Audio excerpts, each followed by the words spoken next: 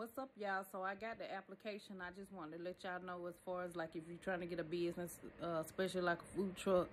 Um, I'm looking at the um, application that you. These are the steps that we're taking. We got to do step one before we get to uh, uh, to the uh, health inspection. It's a permit application, so it's a city of Murfreesboro permit application for mobile food services. So it's asking you for your name, your driver license, your business license, what type of vehicle, is it a trailer, the weight, the model, the year.